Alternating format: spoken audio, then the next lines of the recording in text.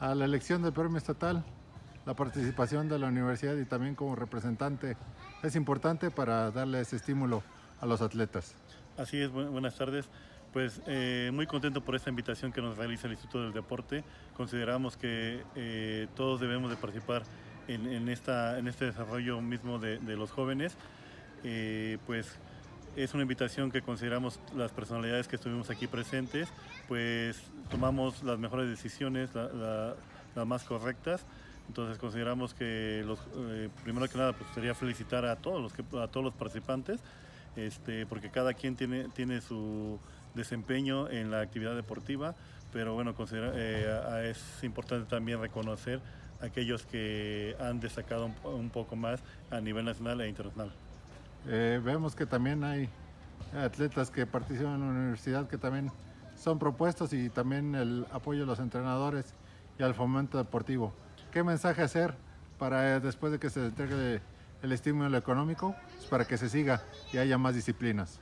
Pues eh, aquí sería la, invitación a no, a no bajar ese esfuerzo que están realizando los jóvenes, tanto a nivel este, medio superior como superior, y que considero que bueno que tendrán su lugar dentro de las próximas este, eventos que se les reconozca esta, este desempeño que están realizando y considero muy posible que en próximos años van a estar presentes eh, en, este, en estos reconocimientos de premios estatales.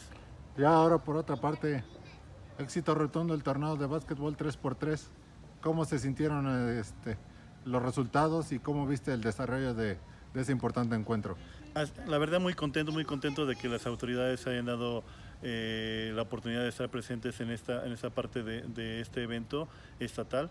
Una muy buena inauguración donde hubo mucha participación por parte de los subsistemas, por parte de, los representantes de, estos subsistemas.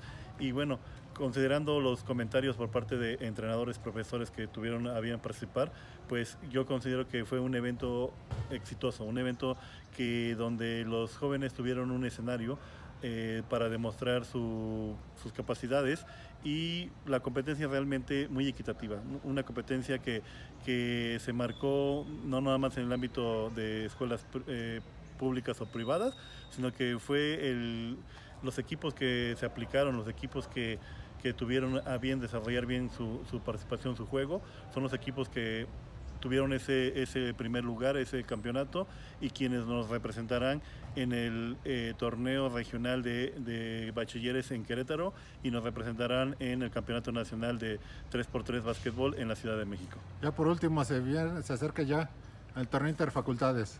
¿Cómo se está preparando? Y ya para que haya mucha actividad dentro de la universidad. Así ya estamos a la vuelta de de la esquina con este torneo de interfacultades. El día jueves eh, tendremos lo que es la inauguración, el jueves 25 se, dará este, la inauguración de este torneo de interfacultades en su séptima edición y bueno, considero que es uno de los eventos importantes, relevantes dentro de la institución, ya que de, este torneo se tendrá eh, la oportunidad de elegir a los competidores que representarán cada equipo eh, en sus diferentes disciplinas y que representarán a nuestra institución.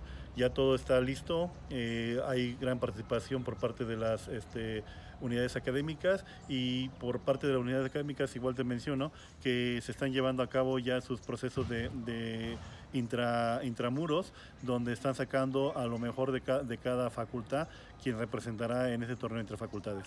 Un mensaje final que donde se ve que la universidad está trabajando en pro de la salud y el deporte.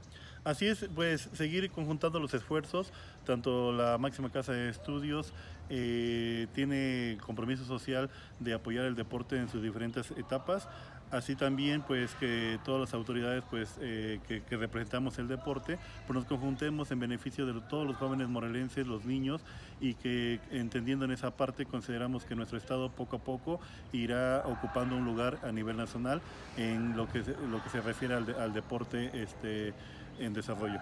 Muchas gracias.